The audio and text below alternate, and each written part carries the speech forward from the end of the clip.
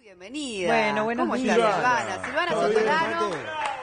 También en la previa al Día Internacional de la Mujer que se celebra mañana, y está bueno lo que planteas hoy como tema, lo vamos a decir de forma introductoria, que tiene que ver con las mujeres. Mm, ¿Somos más libres hoy por hoy, pudiendo elegir quizás estudiar, eh, bueno, una profesión, eh, tener hijos o no tenerlos, eh, con toda la información que también tenemos disponible? ¿Estamos ganando en libertad las mujeres? Sin embargo, no parece todo tan así desde el punto de vista de Silvana Sotolano. ¿Cómo estás, Silvana? Bueno, Bienvenida. buen día. Y sobre todo escuchando lo que decían recién muy interesante en la nota anterior, este mm, sí, la libertad es un concepto que a veces este, se dice mucho de la boca para afuera en relación al rol de la mujer en la sociedad y las posibilidades y la igualdad de posibilidades y que después en la práctica este, no siempre además manifiestamente este, pero se boicotean desde lugares bastante más siniestros, ocultos. Hoy vamos a hablar más que nada de lo que tiene que ver con eh, la, cuestión emocional, de qué nos pasa a las mujeres en general, este, siempre salvando las diferencias, como decimos, pero bueno, un poco eh, tratando de acercarnos a lo que a lo que preocupa hoy a las mujeres, a lo que se están enfrentando. Como decías tú hoy, este, mm, las mujeres estamos en un tiempo donde podemos elegir aparentemente mucho más, ha cambiado absolutamente el rol de la mujer. eh, en relación a la pareja, eh, vamos viendo cómo la mujer es mucho más proactiva en las decisiones de separarse, de cuándo este, casarse, de, qué tipo de unión este, elegir, eh, las posibilidades.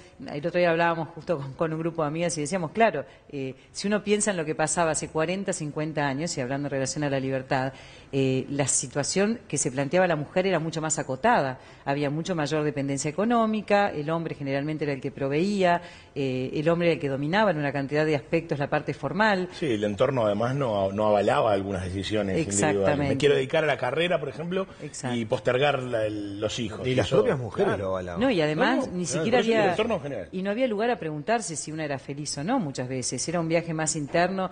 Lo que pasa a veces, muchas, muchas, en muchas oportunidades hoy por hoy, es que la cantidad de posibilidades o aparentes posibilidades que nos ofrece la sociedad también nos coloca en un lugar difícil. ¿Por qué? Porque a veces tratamos de replicar algunos modelos que hacen algunas de algunas elecciones que hacen otras mujeres y que no reflejan lo que una quiere.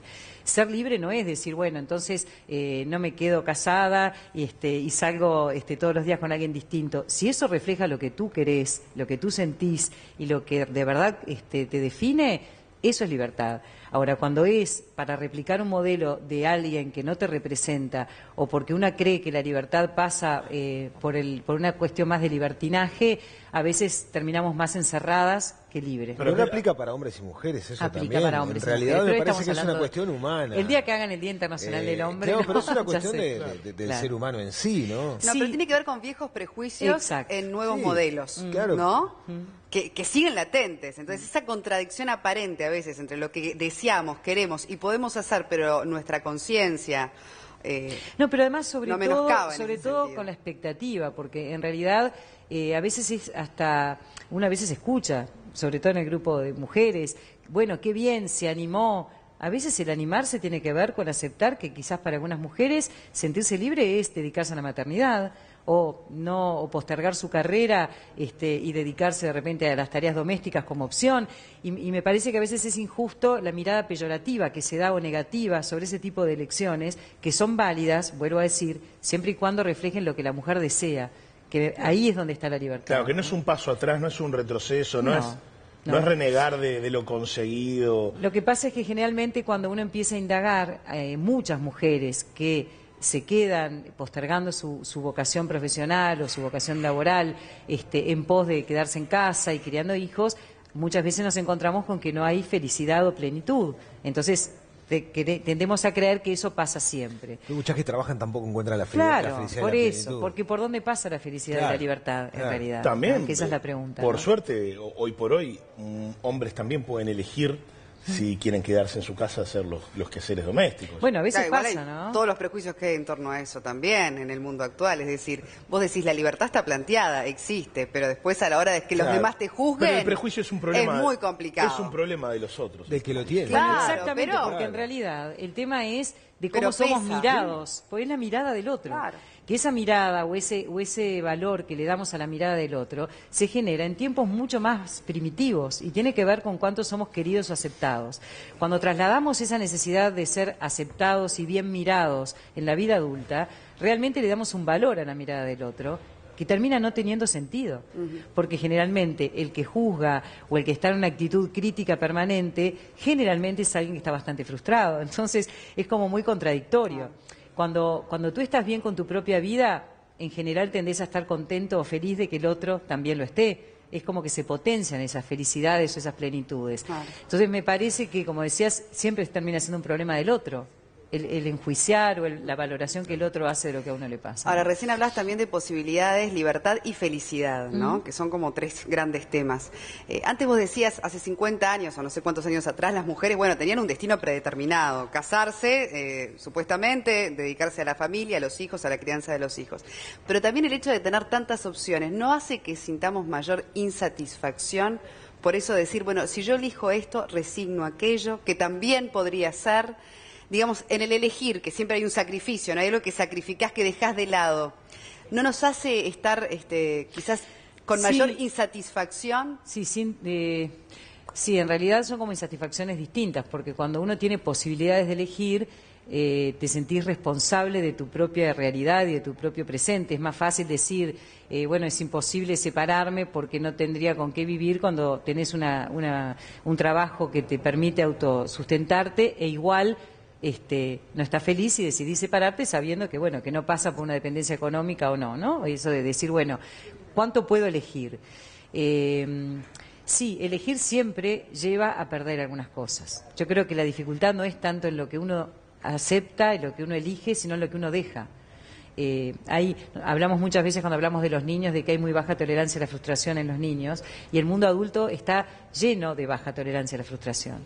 Entonces, en este mundo donde hay tantas opciones y donde hay además una venta tan loca de todo lo posible, cuando después en realidad no están así, pero no hay como estar casado para creer que vas a poder hacer mil cosas si te separás, o no hay como estar eh, solo para creer que el matrimonio es maravilloso. Entonces, cuando uno idealiza el otro terreno en el que no está, siempre siente que le está faltando algo. Eh, la mirada, o por lo menos eso es lo que estaría bueno transmitir hoy, es tratar de valorar lo que uno sí tiene entonces, en esa mirada hacia adentro de lo que uno tiene, darnos cuenta si lo que tenemos es lo que nos hace felices.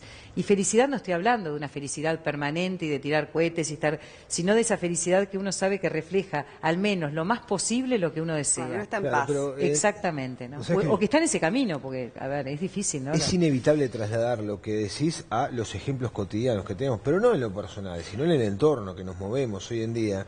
Yo creo que muchos mitos se han derribado, mm. por suerte, ¿no? Aquello de cuando el, hombre asume tareas que por lo general concernientes a las mujeres, parece que hoy en día hasta de forma equivocada, pero se destaca como una virtud. Cuando debería ser algo normal, ni una virtud ni un defecto, debería ser algo cotidiano. Sí, por eso también eh, hay ¿Eh? quienes se sienten ahora la boca hablando de nuevas masculinidades. Nuevas masculinidades, claro, es así. Pero de todas maneras, eso de que vos decís de que la libertad te, te obliga a resignar un montón de cosas, porque es parte de, la elección, eh, nos lleva también a tener que hacer cosas porque no hay más remedio.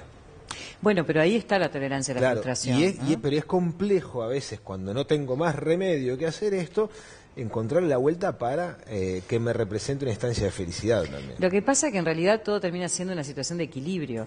Eh, a los niños de dos o tres años, si te explicás por qué no pueden tener el juguete del amigo, no van a entender, ni tienen este, incorporado lo que es el otro como alguien que también puede querer algo distinto, el altruismo.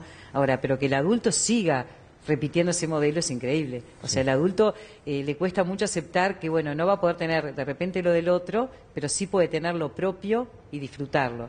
Por supuesto que, uno resigna cosas y que a veces es difícil que lo que hace te represente, pero estar en el camino, al menos, por eso decía lo de la plenitud, en el camino de decir, bueno, yo esto no lo quiero. Como hablamos muchas veces cuando uno elige en qué trabajar o qué hacer, eh, y que uno aunque sea esté dándose cuenta de que va caminando hacia un lugar que lo hace más pleno, eso ya es positivo.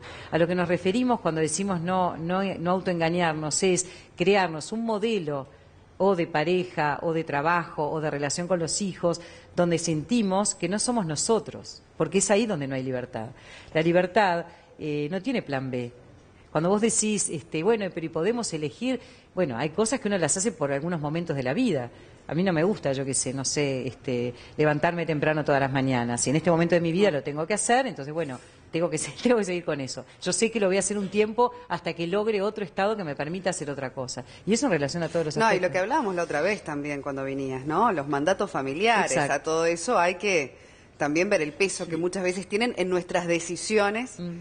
Este, para nuestras vidas. No hay, capaz que, es una mala pregunta para ir cerrando la charla, pero no hay como una sobreestimación también de, del perder terreno eso de decir, no, no, yo hasta acá no voy porque pierdo, pierdo terreno, pierdo eh, lo, que conseguí y demás, como esa cosa de, primero este, lo mío, mi actividad, mi vocación, lo que sea, y después lo del resto.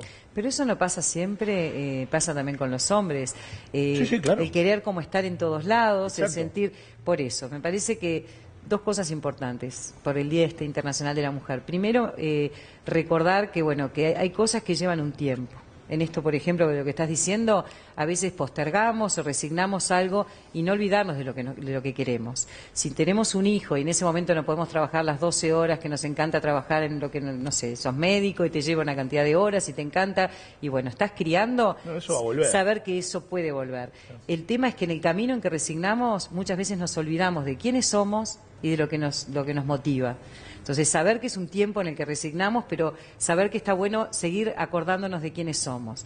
Y por otra parte, seguir fortaleciendo algo que está pasando y que me parece que es increíble, que es el poder de, las mujeres juntas.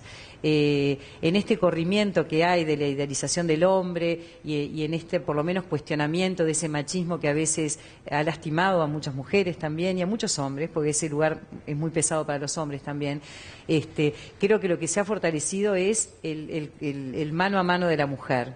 Eh, compartir, eh, eh, compartir en, lugar de competir, darnos cuenta de que todas estamos transitando caminos similares, este, acompañarnos. Me parece que fortalecer el vínculo entre mujeres nos potencia muchísimo más en esto, ¿no? Muy bien, bueno, Ese es un poco el mensaje.